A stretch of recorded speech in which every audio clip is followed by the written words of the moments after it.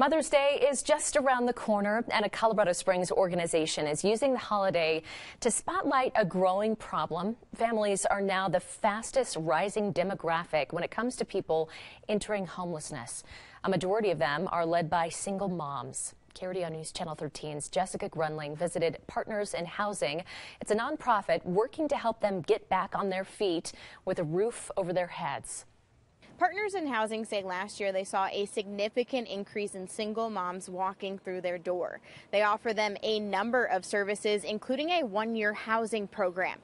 They're now using Mother's Day weekend to raise awareness of the issue in our community. Partners in Housing has been here for 31 years. They work with families and have a special focus on single moms. So we really are seeing, and even post pandemic, that moms are really struggling to keep their families stable and thriving. Last year, they served 134 families.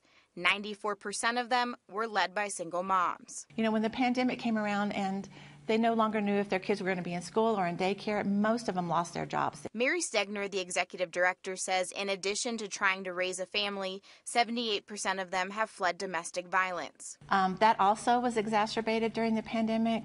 Both domestic violence, child abuse, and neglect, all those things, we saw a huge rise in that. So, recovery from those is part of our program as well. Another part of the program, finding these moms a good paying job.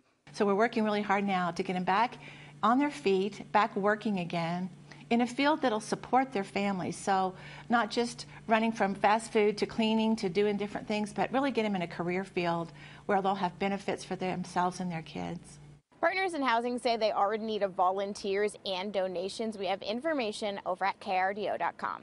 Reporting in Colorado Springs, Jessica Grunling, KRDO News Channel 13.